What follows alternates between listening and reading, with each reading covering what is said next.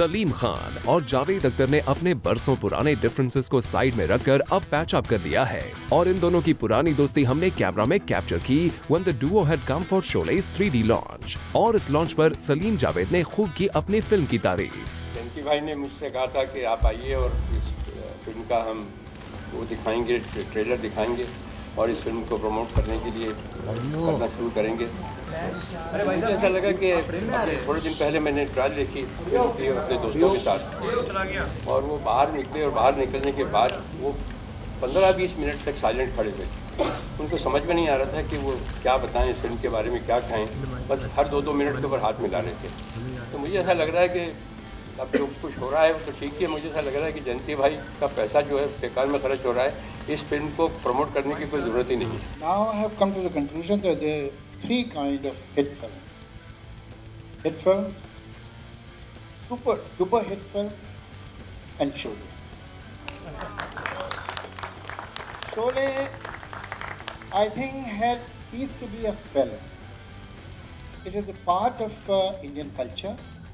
Indian psyche, Indian collective memory.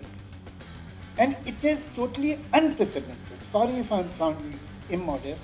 I'm not talking of this film as a writer, co-writer of this film, but as somebody who has been fortunate enough to see the film. Well well, यही नहीं जावेद अख्तर ने तो ये भी कह दिया कि उनका और सलीम जी का अलग होना काफ़ी मुश्किल है अब हम लोग एक ऐसी जंजीर से बंधे हैं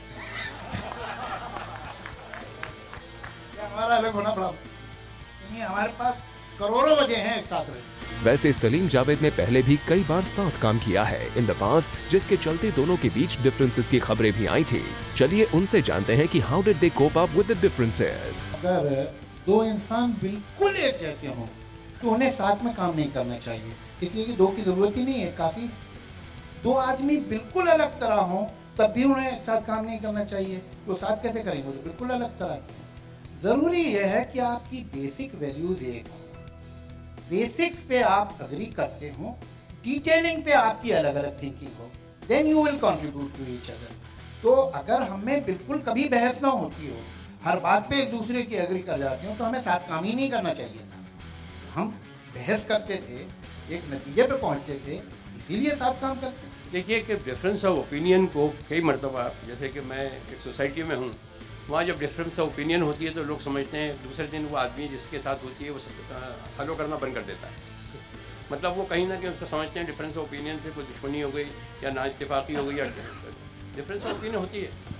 दो समझदार आदमियों में, दो रैशनल आदमियों के अंदर जब भी I mean you can sort it out या तो ऐसा होता था कि या तो मैं इनको कर दिया करता था कन्विंस या ये मुझे कर देते थे।